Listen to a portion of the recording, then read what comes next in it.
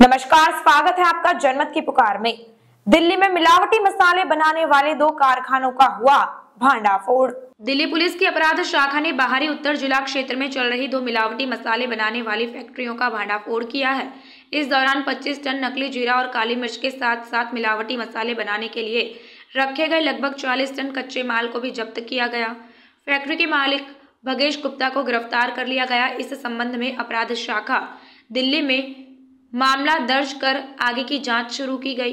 केंद्रीय रेंज अपराध शाखा के एच सी राज प्रकाश को बाहरी उत्तर जिला क्षेत्र में चल रही मिलावटी मसाले बनाने वाली फैक्ट्रियों के बारे में गुप्त सूचना मिली थी। इस सूचना को मानव खुफिया और साथ ही तकनीकी निगरानी के माध्यम से विकसित किया गया था।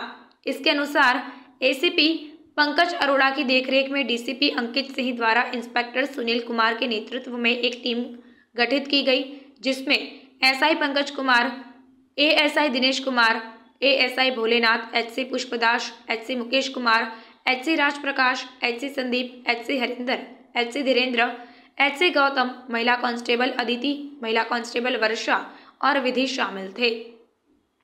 एक जाल बिछाया गया और एक टेंपो को जिंदपुर गाँव दिल्ली में खसरा, स्थित एक गोदाम के सामने रोक लिया गया। इसमें 25 बैग पाए गए, जिसमें टेंपो में परिवहन किए जा रहे जीरे और काली मिर्च के माल का मालिक बताने वाला भगेश गुप्ता टेंपो में बैठा था। इसके बाद भगेश गुप्ता से पूछताछ की गई। उसने स्वीकार किया कि उक्त बीजों की खेप पूरी तरह से मिलावटी है और वह उसे बाज़ार में पहुँचाने जा रहा था।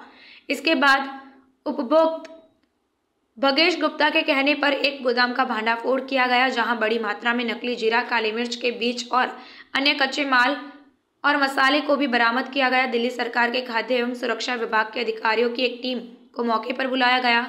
और उन्होंने नमूने लेकर आगे की कार्यवाही की। नकली जीरे और काली मिर्च के बरामद बैगों और अन्य मसालों और उपकरणों और मशीनों को भी जब्त कर लिया गया। तथ्यों और परिस्थितियों के आधार पर अपराध शाखा दिल्ली में मामला दर्ज किया गया और आरोपी को इस मामले में गिरफ़्तार किया लिया गया है। आरोपी को पुलिस हिरासत में ले चुकी है और मामले की आगे की जाँच जारी है। अगर आपने हमारा अभी तक चैनल सब्सक्राइब नहीं किया है तो कृपया चैनल सब्सक्राइब कर लें। लाइक करें शेयर करें कमेंट करें। तो मिलते हैं फिर किसी और खबरों के साथ। नमस्कार।